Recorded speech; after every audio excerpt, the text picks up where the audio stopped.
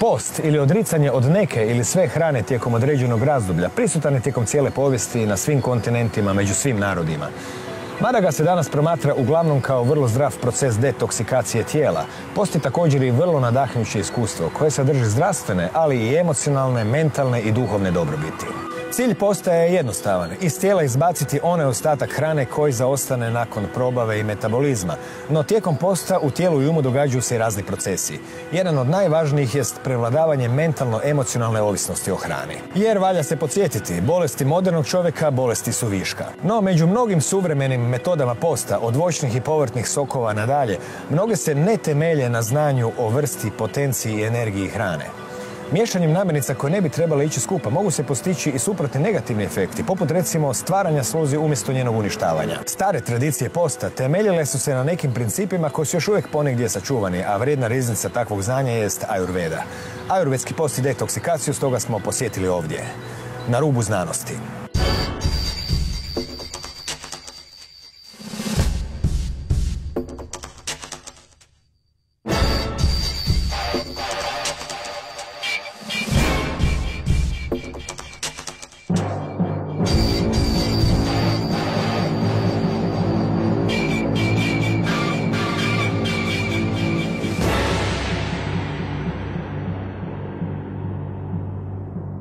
Dobro večer.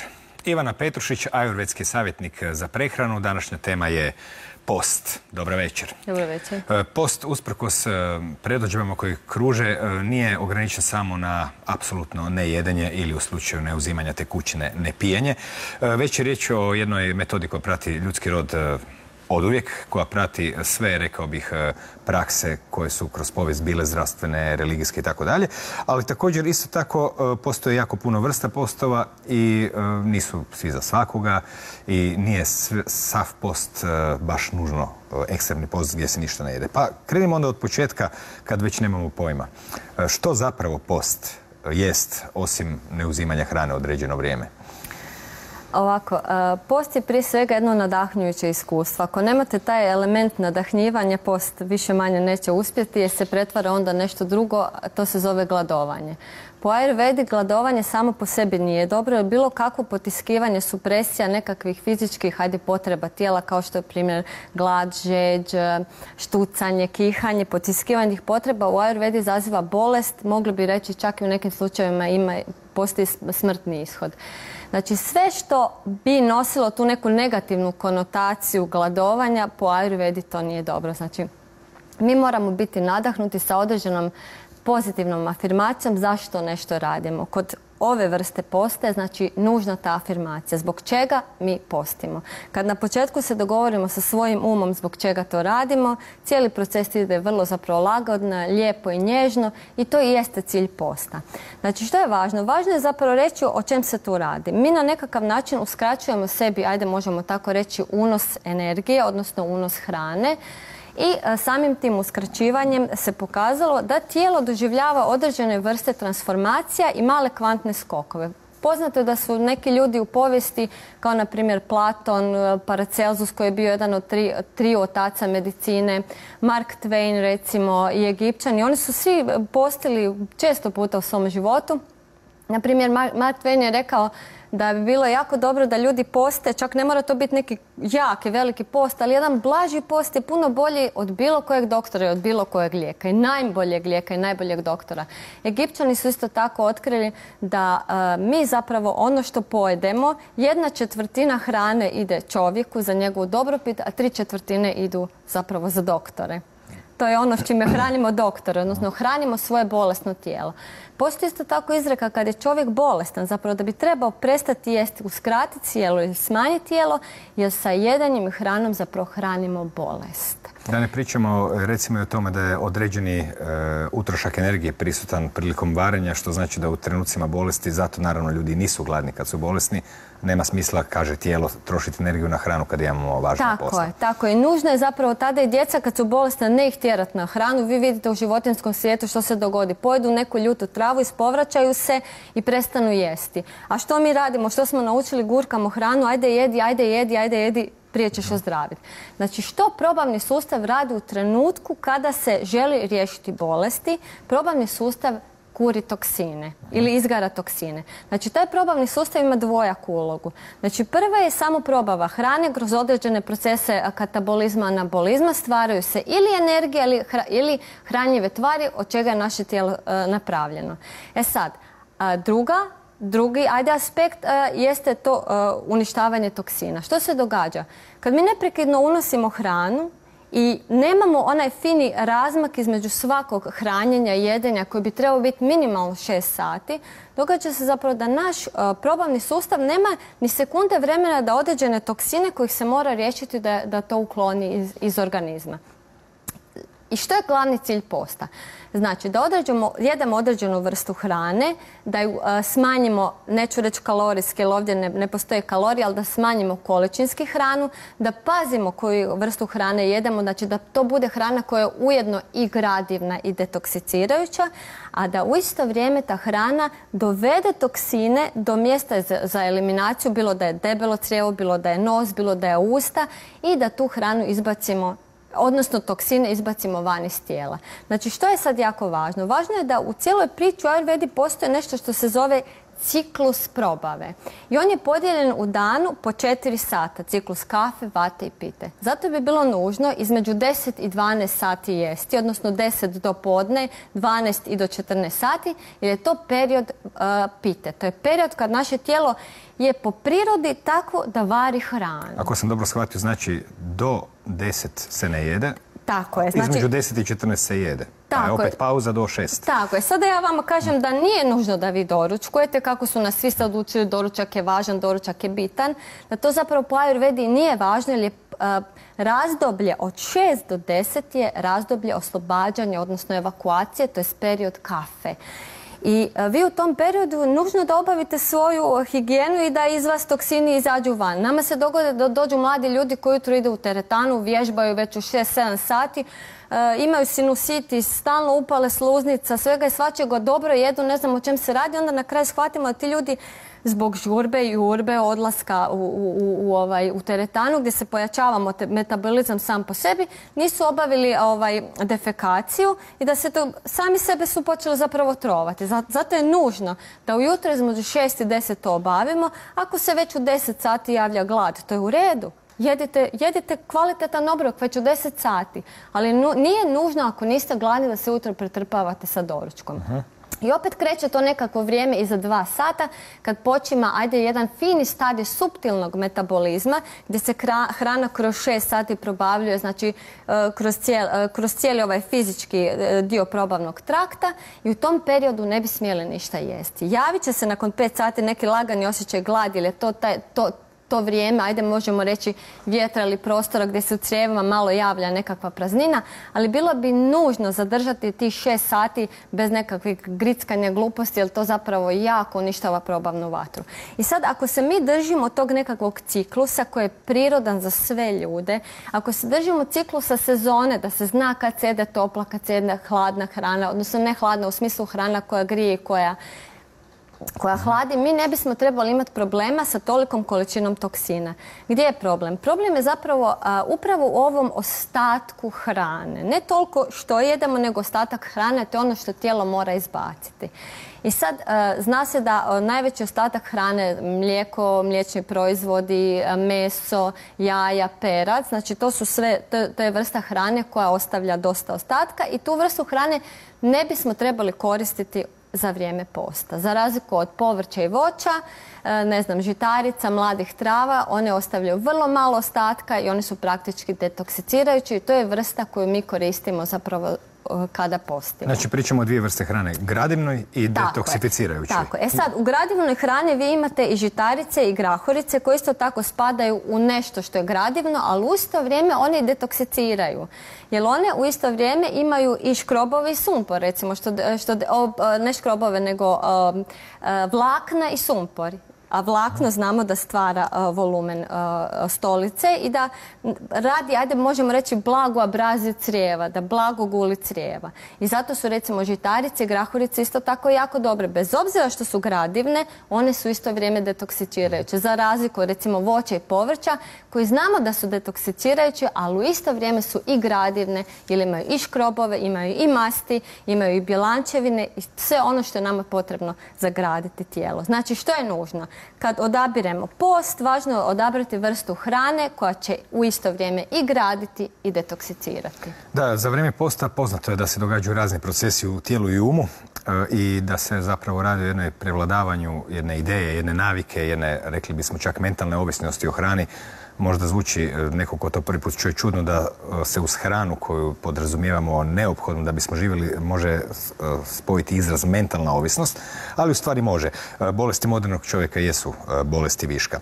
U svakom slučaju u Ayurvedi postoje nazivi za ljude koji jedu ovisno, zapravo postoje nazivi ovisno o tome koliko puta dnevno jedu. Pa što ti nazivi govore, kako glase? Tako je. U Ayurvedi se kaže da su bolesti današnjeg čovjeka upravo ovo što ste rekli bolesti viška. Mi smo neprekidno bombardirani bombardirani, sva naša osjetila su sad, hoćemo sad reći namjerno ili nenamjerno, bombardirani su sa različitim stvarima koje povećavaju naše doživlje prema nečemu. I sad je ključna stvar kad čovjek zapravo želi održati zdravlje, prvenstveno mentalno-emotivno, da smanji tu mentalno-emotivnu ovisnost o hrani. Prvo da shvati ako smanji količinski hranu da mu se neće ništa dogoditi i ako jede kvalitetnu i dobru hranu koja je cjelovita i ako jede jedan duži period, 40, 50, 60 dana, da mu se opet neće ništa dogoditi. Znači mi cijelo vrijeme mislimo, e, naš ego i naše tijelo se stalno nešto boji da će biti gladno i kad mi nekom kažemo da 40 dana jede jednu vrstu hrane, joj, ja to ne mogu. Naravno već da ne može. lijes. Tako je, naravno da se ne može. Kako zovu u Ayurvedi da stignemo obraditi e druge točke? E sad, da. E, znači, e, imate ljude, po Ayurvedi je dovoljno jesti jedan puta dnevno i takvi ljudi se nazivaju jogi. Svi znamo što su to jogi, to su božji ljudi, oni koji su navladali, transcendirali svoje upravo ovo mentalne, emotivne ovisnosti. Onda imate uživatelj, to su vam ljudi koji jedu dva puta dnevno i oni se zovu bogi, a oni koji su bolesnici, Arveda ih je nazvala rogi, od tu vjerojatno je baba roga, roga znači bolest, to su bolesnici. Ti ljudi jedu tri puta dnevno. Ja često čujem ljude da kažu da jedu i šest puta dnevno. Ja čujem ljude da jedu, e, pogotovo oni koji idu teretanu pa vježbaju pa se mora stalno nešto jesti svako dva sata. Znači u Ayurvedi to ne postoji. Nama je dovoljno praktički dvije šake hrane koja je cjelovita, koja je dobra, koja ne oštećuje organe i koja od svoga početka do kraja zapravo djeluje vrlo blagotvorno na cijeli sustav i na um. Dobro, među mnoge e, posljedice loših prehramenih navika su apatija, umor, depresija, težina u tijelu i sva ta čudna mentalna stanja, ne možeš spavati i tako dalje. E, svi znaju da zapravo dobar san često puta može zamijeniti potrebu za hranom, jer kad je čovjek naspavan, nekako je pun energije i zapravo nema čak niti e, neke potrebe za toliko jela. No danas postoji jako puno dijeta raznih vrsta pravaca, mhm. često puta međusobno i kontradiktornih. Među njima postoje razne vrsti posta. Na koji način zapravo koliko, koliko vrsta postova ili e, može biti ili na koji način se postovi o kojima danas pričamo, ajurvedski postovi mogu e, klasificirati ovisno o trajanjima i tako? Znači, postoje vrsta postave gdje vi recimo samo izuzimate jednu vrstu hrane ili to je najedete ili gdje se odlučite za par vrsta namirnica i to jedete kroz neki duži period vremena. Postoji znači post gdje, vi nećete ništa jesti ni piti 40 dana, pardon, ništa nećete jesti niti piti 36 sati, maksimalno do 96 sati, to je apsolutni post. A postoji takozvani monopost gdje 40 dana jedete samo određenu vrstu hrane. Znači oni nisu određeni ni količinom, ni time koliko puta ćete nešto jesti, već su određeni samo vrstom hrane. Tako recimo uh, uh, jogi u Indiji, to se naziva hrana za bogove, uh, neprekidno i stalno jedu jednu vrstu hrane. Znači vi zapravo ne dobivate nikakvu vrstu stimulansa, e, bilo da je stimulans agresije ili bilo da je stimulans nekakvog tamasa ili tromosti kroz hranu. Vi kroz tu hranu dobivate samo one lijepe, e, kvalitetne, kreativne osobine, to se zove takozvana statička hrana. I ta hrana se više bazira na žitarici, na grahorici i eventualno sa strane nešto malo zeleni. Ali u, u toj vrsti posta, u bilo kojoj vrsti posta vi nećete koristiti ni meso, ni mlijeko, ni jaja, ni perad, ni ni, znači e, te vrste namirnice životinskog porekla upravo iz ovog razloga što smo rekli jer te e, stvari grade hranu, ali grade ostavljaju tijelo. E, grade tijelo, ali ostavljaju velike toksine u tijelu. Što danas ima jako puno tih škola e, posta, voćni sokovi, mhm, povrtni mhm. sokovi, smuti, šejkovi, zeleno za zdravlje, raw food i tako dalje. U kojoj mjeri su ti postovi prema recimo ajurvedskoj tradiciji o kojoj sad pričamo zapravo promašili ili pogodili svoj cilj i ako su ga ponekad i promašili, zbog čega? Ako imate slabu probavnu vatru, to postoje pokazatelj slabe probavne vatre, znači postoji nešto što se dove nadutost, nadimanje, neprestalno podrigivanje. E, ljudi koji, danas pogledate malo ljude kako se najčešće debljaju, debljaju se u ovom predjelu oko abdomena, stvare se zapravo masne naslage zbog stila života i zbog svega.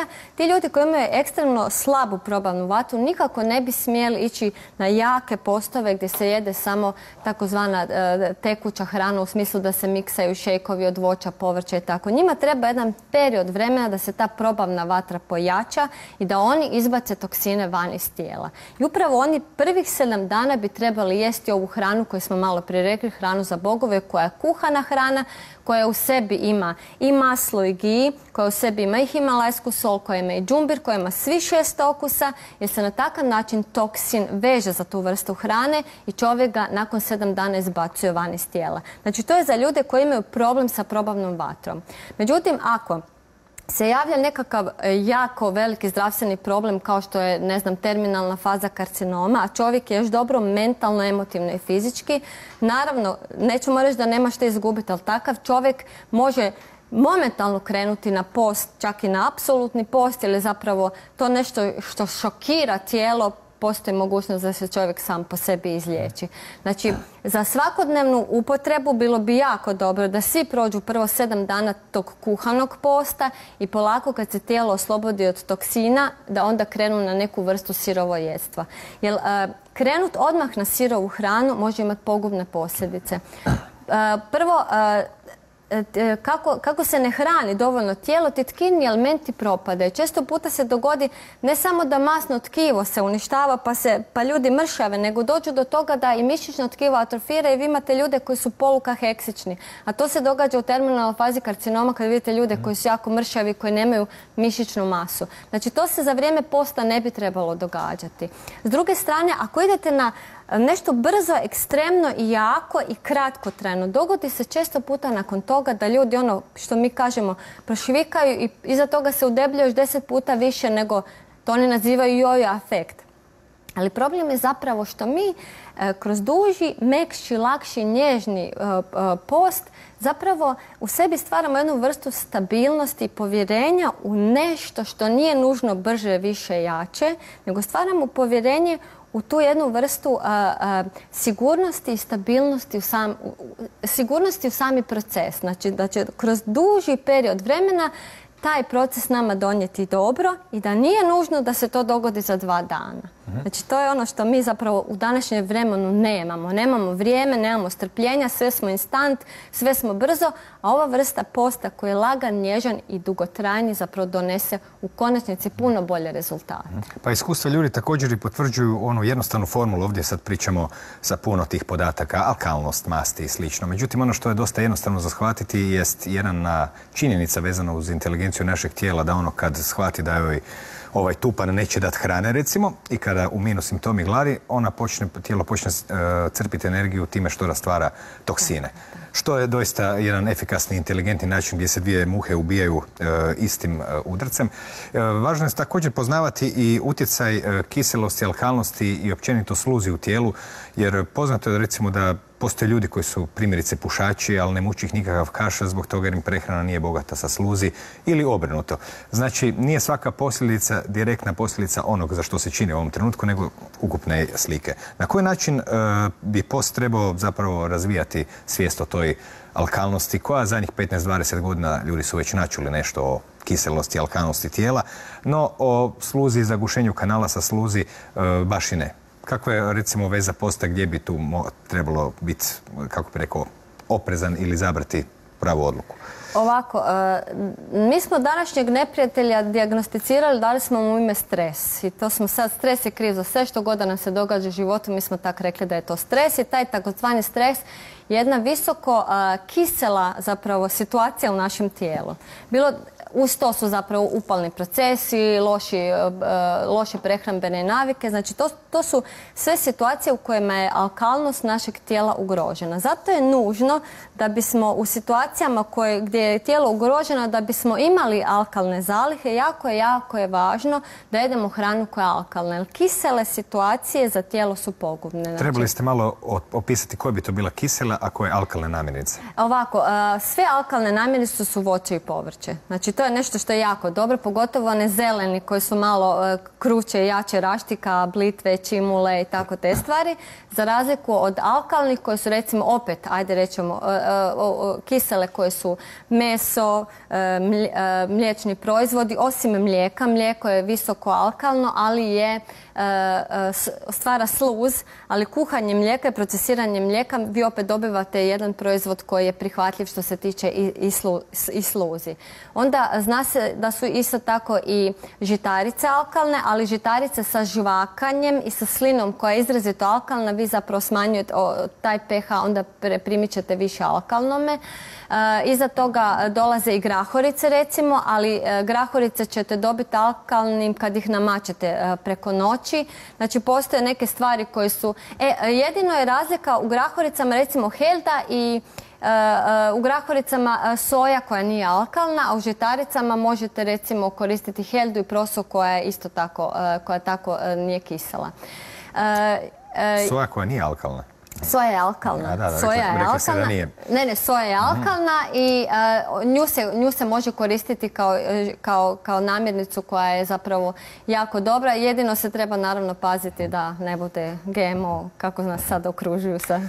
Što je uopće e, problem sa tom sluzi? Kako se ona manifestira? Kako ljudi mogu prepoznati da imaju višak sluzi u sebi? Mislim, osim što im se cijedi iz nosa. Mi komuniciramo sa, sa okolinom putem naših otvora i svi otvori koje imamo u tijelu su zapravo e, presvučeni tom sluznicom. To je jedna fina, lijepa opna koja nije obilna kad je u normalnom stanju. Ona zapravo služi tijelu da štiti od patogena, od vanjskih faktora, mikroorganizama i tako.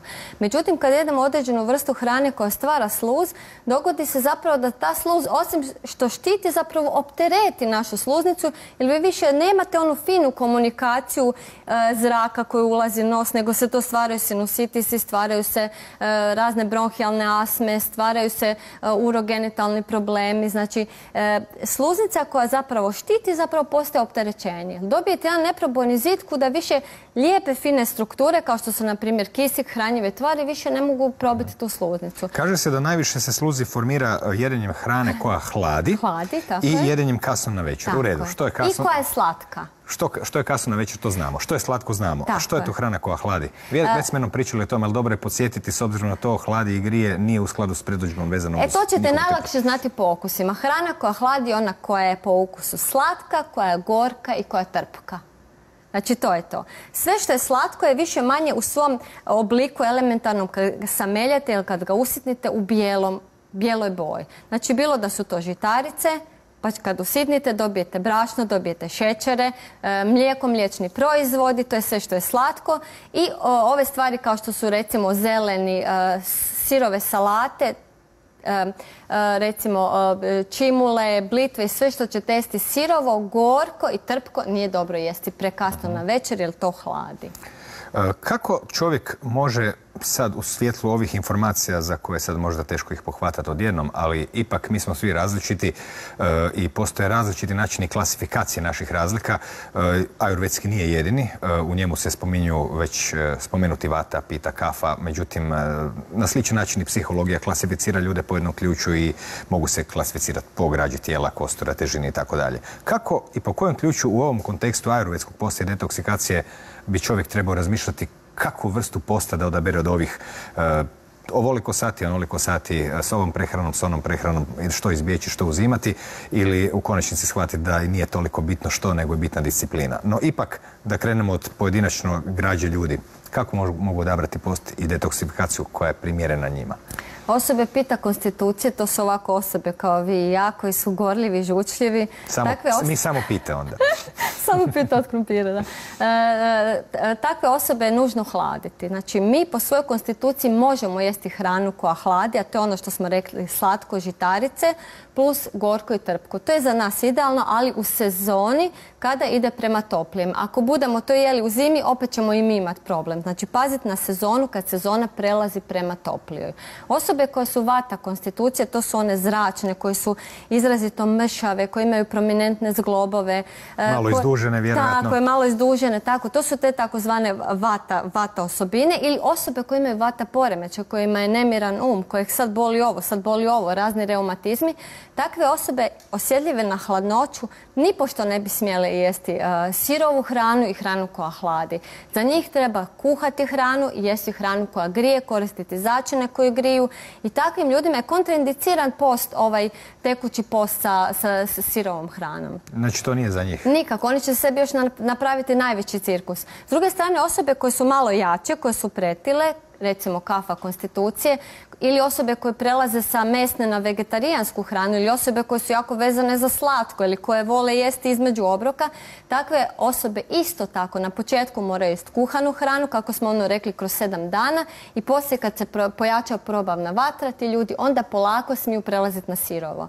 Ali na sirovo se ne prelazi dok se god ne pojača probavna vatra. I što će se dogoditi? Sirova hrana je ta hrana vjetra i prostora.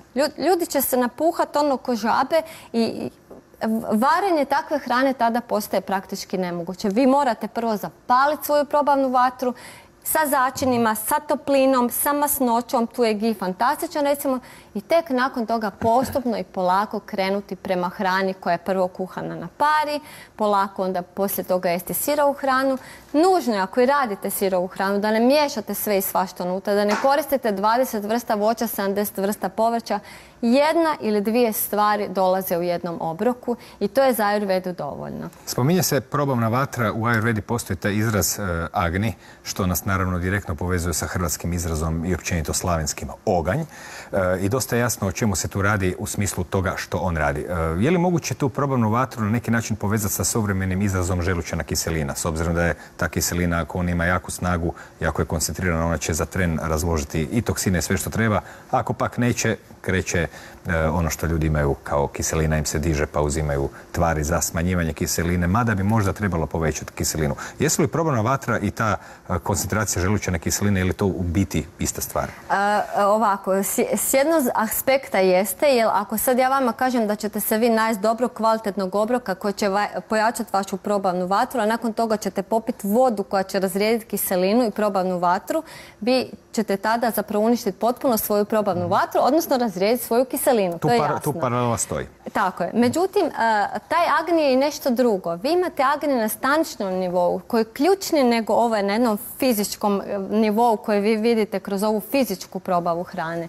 Ako taj agni na e, staničnom nivou ne radi kako treba, a to je onaj agni koji bira određenu substancu da bi sagradio određeni tkivni element. Znači on ide kao sonda, bira ono što mu treba i, gradi složene kemijske procese koje grade naše tijelo. Ako taj agni ne radi, vi ćete možda imati dobru probavu, vi ćete imati brzi metabolizam, ićete na WC koliko god puta trebate ići, ali će se dogoditi da se stalno razboljevate, da stalno imate neke upalne procese, da prva šmrkavica koja ne leti da je vaša. E, onda se zna da agni na toj jednoj staničnoj razini ne radi kako treba. Mhm. Dobro, što bi to bio uh, apsolutni post? Uh, kako bi zapravo se mogla opisati Apsolutno. Znači, znači ne jede se, ne pije se ništa, 36 sati. Koji su njegovi e, učinci ispričani, prokušani, iskušani. Gdje je on jako dobar? Kod ljudi koji su kafa konstitucije, koji imaju difuzne ili neke lokalizirane edeme, otoke Opišite tijela. još jednom ljude kafa konstitucije za naše gledatelje. kafa konstitucije. Znači malo jači. malo jače konstitucije koji imaju recimo edeme nogu. Vi imate ljude koji ne mogu riješiti edem nogu nikako. Za njih apsolutni post 24 do 36 sati je izvrstan. E, maksimalno se koristi do 96 sati i to mora biti ipak pod e, nadgledanjem neke osobe koja je stručnija. Recimo konstitucije koje imaju pita poremećaj, koji imaju e, pojačanu toplinu tijela, koji imaju pojačanu toplinu ekstremiteta, kojima je stalno vruće i koje stalno moraju piti nekakve e, tekućine sa hladne iz frižidera i tako, te osobe ne bi smjele ići na apsolutni post. Osim ako nisu transcendirali svoju prirodu, pa su postali nekakvi realizirani učitelji, onda je to nešto drugo. Ali jako je važno zapravo da i prije tog posta koji bi bio apsolutni prođemo kroz par mjeseci ove nježnije, blažije oblike postova gdje ipak nešto malo jedemo, nešto si malo uskratimo, smanjimo količinu, smanjimo broj jedenja i nakon toga i kad dođemo do tog apsolutnog posta vidimo zapravo da to nije, da to nema nikakav problem s time. Nužno je isto tako da shvatimo da u tom apsolutnom postu nam se ništa ne može dogoditi, da će tijelo koje ima naravno rezerve, da će iskoristiti to na vrlo pametan način i stvaraju se određene, e, mogli smo reći, kemijske tvari koje se zovu ketoni koje jako dobro djeluju na naš mozak. Prije su e, zapravo u starom Rimu i drevni narodi su shvatili zapravo e, kad su imali ljude sa epilepsijama, naravno da nisu znali to objasniti medicinski pa su rekli da su ih opstijeli duhovi, onda bi takve ljude se napadima zatvorili u neke tamne prostorije i nisu im dali jest. I odjednom se situacija super, ono, duhovi izišli van, super, mhm. ljudi su se izlječili. Oni su letili u tu takozvanu ketozu, jeli, gdje su se stvarali ti ketonski spojevi u mozgu koji su djelovali blagotvorno na njihove živčane stanice. Mhm. Oni to naravno nisu znali, ali su dobili dobar efekt. Znači o tome se radi. Vi zapravo, bez obzira koliko e, se tijelo prepadne i sad misli ja sad neću dobiti hranu, ono što ste malo prije rekli, ovaj manijak sad neće da da jede, zapravo on koristi određene mehanizme adaptacije. I ti mehanizmi adaptacije su ključni jer se onda stvaraju nove mitohondrijske zalihe ovaj, e, energije gdje mi zapravo idemo onda na jedan viši energetski boosting ili nivo. Kako Sad pričamo uglavnom o tijelu, međutim e, dok vi smatrate da je um u mozgu, naravno ova formula koju ću reći ne vrijedi. E, međutim, činjenica je da, mnogi to znaju iz iskustva svog i sportaši drugdje, da kad čovjek donese neku odluku da zapravo promjene kreću odmah. Jer kad čovjek nešto odluči, um se počne kroz svoju neuroplastičnost i preslagivanje koja je njemu zapravo osobina koja cijeli život se zbiva, e, nešto se tu počne događati. Znači, nije stvar samo o automatskom rađenju, nego kao što ste rekli na početku nekom vlastitom razlogu i tako dalje. E, kada smo već onda kod mozga, na koji način ta hrana, pričali smo o sluzima, o želucu, o probavi, o, kako se zove, crijevima. Na koji način u kontekstu te izrazite neuroplastičnosti mozga i stalnih promjena na vanjske poticaje, e, što se je danas, kada je neuroplastika postala vrlo istraživana u zadnjih 10-15 godina, prije nije bila toliko u fokusu, što se ustanovilo e, po pitanju utjecaja posta na oblikovanje znači, tih neuronskih mreža i svega onog što se objedinjuje po nazivom neuroplastičnost? E, kažu da u današnje vrijeme ima e, milijune, milijune ljudi koji imaju te kognitivne probleme, da ne pričamo o Alzheimeru i svim tim Parkinsonovim bolestima. E, sa, raznih američkih nezavisnih sveučilišta su radili određene istraživanja, naravno koje nisu potvrdila ni prehrambena ni farmaceutska industrija, već su to radili entuzijazmi. Entuzijasti skužili su zapravo da energetsko unošenje, smanjeno energetsko unošenje hrane ima jako dobar povolj učinak na mozak. Što se zapravo dogodi? E, vi kad jedete hranu, e, vama se dio hrane skladišti u jetri u obliku glikogena. I sad e, se događa da taj glikogen se ispražnjuje iz tijela tek nakon 10 do 15 sati. Ako vi neprekidno jedete, jedete, jedete, taj glikogen koji je skladište, mogli bi reći glukoze, se nikako ne ispražnjuje. Međutim, tek ispražnjavanjem tog skladišta nastaju ti takozvani ketoni o kojima sam malo prije pričala, koji fantastično djeluju na mozak. I što se tu događa? Zbog blagog tog jednog osjećaja stresa, tijelo se prepadne, vidi sad neću ja dobiti hranu, Dolazi do e, stvaranja novih stanica, novih živčanih stanica, dolazi do neurogeneze iz matičnih stanica živaca, stvaraju se novi živci. Oni, oni područji sinapsi e, spajanja e, dva živca zapravo događa se da svi ti dopamini, svi ti neurotransmiteri koji postoje u tim živčanim prespojima se multipliciraju. S druge strane, tijelo pomisli, gle, ako sad on mene neće dati jest, pa ja moram sam stvoriti svoju energiju. Kako ju stvaram? Stvaram iz mitohondrija. To su energetske centrale stanice.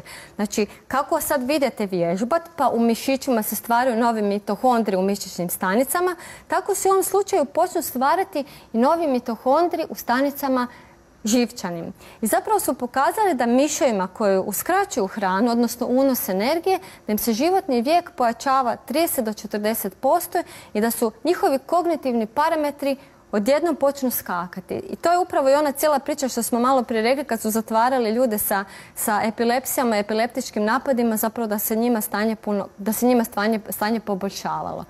I e, danas su znači stručnjaci, pogotovo Johns Hopkins University, e, e, dijela znači neuroznanstvenika koji se bave staranjem, su radili istraživanja na miševima gdje su upravo im uskraćivali hranu i vidjeli su da oni kojima je manja dostupnost hrane, da imaju puno bolje potencijale za razvoj mozga nego oni koji su se neprekidno tovili sa energijom, neprekidno sa hranom kojima su depoji glukoze stalno bili puni, gdje nije dolazilo do stvaranja cetona, ketona i raspadanja toga svega.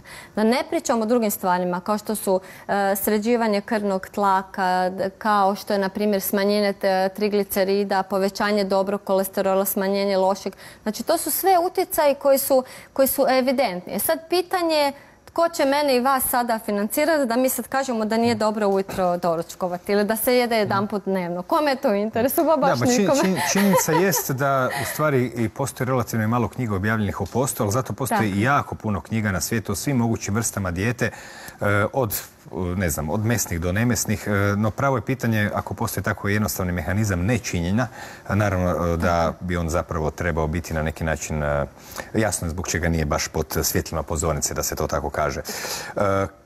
Zanimljivo je što često puta ljudi koji se baš bave, kako bi se reklo, ozbiljno postom, ne ovako rekreativno, tek ponekad, što isto nije za odbaciti, baš spominju kako i bolje spavaju, kako imaju lucidne snove, jasnije mišljenje, što nas sve na neki način povezuje s time da se nešto pozitivno mozgu dogodilo. Možemo mi to pjesnički nazivati smirivanje uma, smanjivanje stresa ili reći da su neuronske stranice se počele graditi ili preslagivati. To je zapravo potpuno svejedno.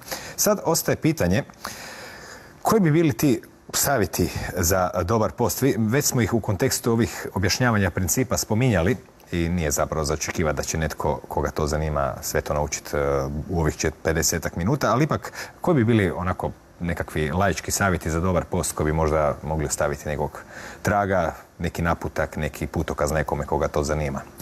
Ovako, kada odobirate hranu za post, bilo bi dobro da znate porijeklo te hrane, da doista ne idete u nekakav lokalni supermarket i ne kupujete tamo voće i povrće hranu koju ćete jesti, jer znamo da, mislim, herbicidi, pesticidi, to o tome ne trebamo više ni pričati. o fungicidima. Više o tome nećemo ni pričati. Mi smo imali puno ljudi koji su bili uh, uh, sirovojeci, koji su bili uvjereni da jedu dobro i zdravo, kupovali su hranu u lokalnim supermarketima, ne da su se otrovali, nego na kuhanje ipak na neki način bar otrove riješi, ako ništa drugo. Znači, važno je i voda koja se pije, da ne pijete vodu iz pipe, ako možete obrnutom osmozom ili idete negdje na izvor.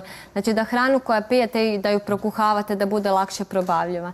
Količine. Uvijek je pitanje količine. Ne idete do distenzije želuca, ono da da osjedite, zato se najao, zateže me želudac. Znači, toliko ne jedete. Ako jedete tekući post, onda ćete popiti negdje nekakvih pojest šest čaša nečega, ali što je jako važno kod tekućeg posta?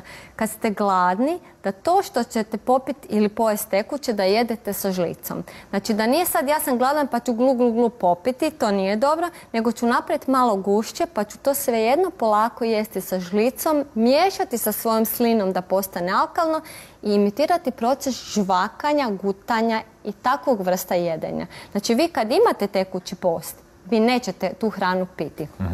Znači to je što se tiče količine. E, s druge strane, e, bilo bi jako dobro obaviti više manjih, lakših, mekših postova prije jednog velikog posta. E, ako se pojavi neka vrsta, ajde možemo reći manjka energije, manjka topline, nužno je tijelo zagrijavati za vrijeme posta, znači raditi nekakve tople kupke, uzimati začine, uzimati džumbir ili piti kipuću vodu, ne dozvoliti da se tijelo hladi, jer ako se tijelo hladi to znači da se ne unosi dovoljno energije, a samim time tkivni elementi ostanu bez hranivih tvari, ono što smo pričali.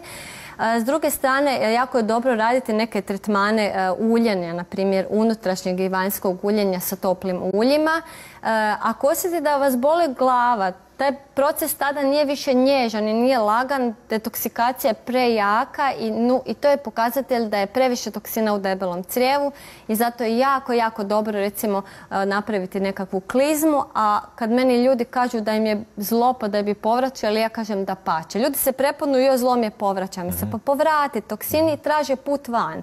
Ne zatvaramo vrata lopovu koji je još u kući, pustimo ga van i onda zatvorimo vrata. I o čemu zapravo post najviše ovisi kako ćemo ga prekinuti. Znači ako smo određeni e, broj dana jeli određenu vrstu hrane, post ćemo prekinuti isto sa vrstom hrane koja se koristi u nekom drugom postu. Na primjer, vi ste sad jeli sirovu hranu 3, 4, 5, 7 dana, nevažno. Vi nećete sad odmah krenuti jesti jaja, meso i nešto što se ne koristi u postu, nego ćete dalje nastaviti hranu koja je recimo ista ta vrsta, ali ako ste jeli sirovo, počet ćete ju kuhat, ako ste jeli kuhano, ješćete sirovo. Znači, Isto ćete koristiti vrstu hrane koja se koristi za post, malo ćete promijeniti i produžit ćete vrijeme ulaska u nekakav, ajde da to žargonski nazove, normalan način jedenja. Nećete sad otići naravno na ćevape, jer onda taj post nema nikakav smisao. Momentalno ste se već zagušili s toksinima i onda iz početka. Dobro, pretpostavljamo, imamo još tu dva, tri pitanja. E, koje bi trebalo razmotriti, e, međutim najbitnije rečeno. Prvo je pitanje e, što je Karapanđa donio ovo izdjeli. E, što bi to bilo? Joj, ne smijemo spominjati vegetu i MSG, jel da toga nema? Ovako, ovo je ono što sam malo prije rekla hrana za bogove. to je hrana koja se, pa možemo reći, jogi jedu cijeli život. Spada u Ayurvedi, spada u mono dijetu, jednostavno jednu vrstu posta gdje vi duži period vremena jedete samo ovo koliko puta, koliko ste gladni. Koliko količinski, koliko ste gladni. Bilo bi dobro da imate šest sati pauze i bilo bi dobro da jedete jednom dnevno ako želite biti pravi jogi. Ali za nas ove obične smrtnike, ako smo gladni, nužno je jesti. Malo prije smo rekli da gladovanje nije dobro. Treba se transcendirati iznad gladi. I sad, to je basmati riža koja je kuhana sa začinima. Ovo je e, crvena, žuta leća ili e, mungo grah i neka vrsta zeleni. Zašto je to važno? Ovdje smo dobili žitaricu, ovdje smo dobili graholicu, ovo je ugljikohidrat, ovo je e, protein, a ovo su vlakna. Okusi su svi tu. Slatko, kiselo, slano, ljuto, gorko, trpko. Poslije možete probati, ovo je slatko, ovo je gorko, trpko, ovo je gorko, ovo je kiselo, unutra je himalajska sol, džumbir i lagano ide prema ljutkastome. Osobe koje su naše konstitucije, to ljutkasto će smanjiti u vidu ako je nekakav čili ili, pa, ili papar, a ako je samo džumbir, onda je to u redu. I znači ovakvu vrstu hrane koja je jako blagotvorna, u Ayurvedi ovu vrstu hrane zovemo cjelovita hrana, ne zato što žitarica je oguljena ili nije oguljena. Cjelovita hrana je ona koja od početka do kraja izvrši funkciju detoksikacije, izvrši funkciju građanja i ne optereti niti jedan tkivni ili neki drugi element u tijelu, a u isto vrijeme za sebe veže toksine i izbaci ih van iz tijela skupa sa, sa fekalijom.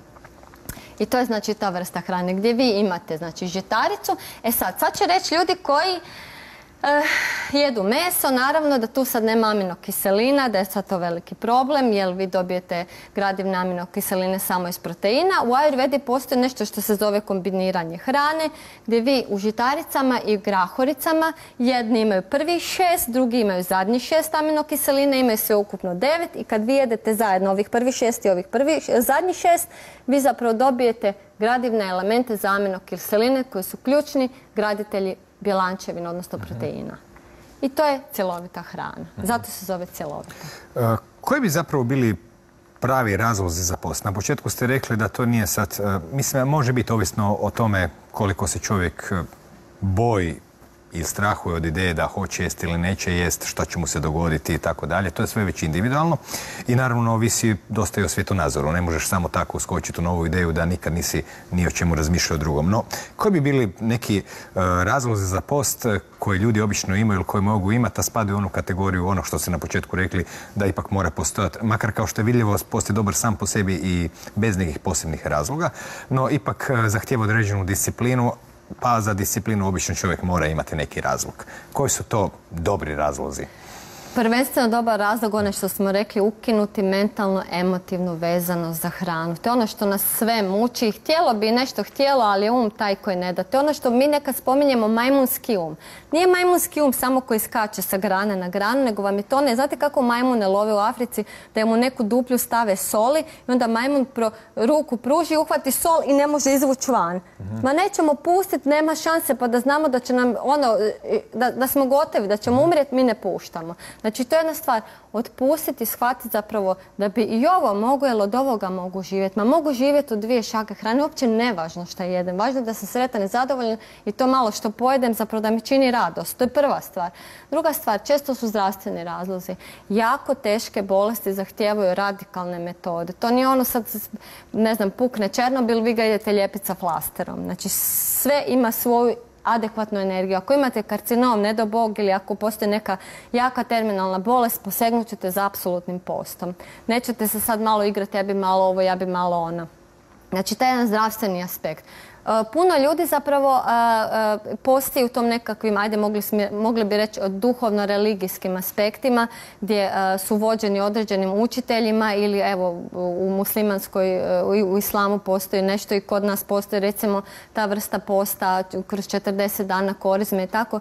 Ljudi to danas koriste iz nekog drugog aspekta, ali to jedno nadahnuće koje vi dobijete zapravo kroz sami post vam daje nekakav, ajde možemo reći, duhovni aspekt. S druge strane, kako smo malo prije rekli, kod nas su sve, sve bolesti viška. Vi zapravo kad shvatite da samo redukcijom Znači, bilo da ste smanjili broj obroka ili da ste smanjili sami obrok po sebi, vi vidite dobrobiti.